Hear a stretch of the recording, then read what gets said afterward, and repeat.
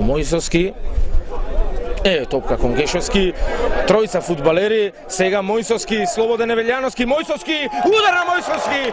Интелигентна завршница на, на пајгачот на 11. октомври. Владимир Мојсовски го постигнува првиот гол за 11. октомври.